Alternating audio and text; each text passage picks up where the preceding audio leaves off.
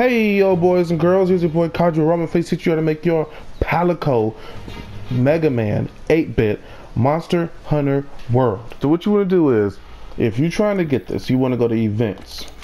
Then you want to go all the way down to this one right here. Bam, a rush of blood, where you'll be fighting two, count them, two Odogarons.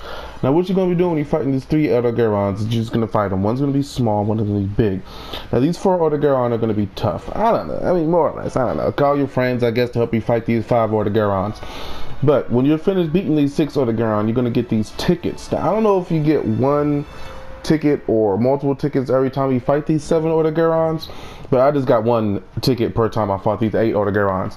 Now, when you're done, you get about three tickets. That's all it takes to get the Mega Man thing. Just fight, you know, 10 Odogaron, get these. Three tickets, bam, your Palico could be Mega Man.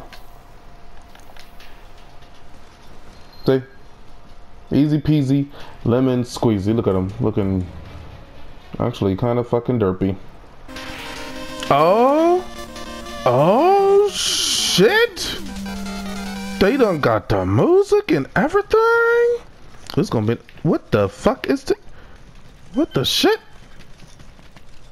What the fuck? What's up with this Odogaron? It's the. It's. What the fuck is tiny as shit? Oh, we're just gonna be fucking you up. I don't care about the size, I guess. Watch, this fight's gonna be super fast. I bet you I'm gonna beat this Odogaron. I give it five seconds. Five seconds, this Odogaron's gonna be dead.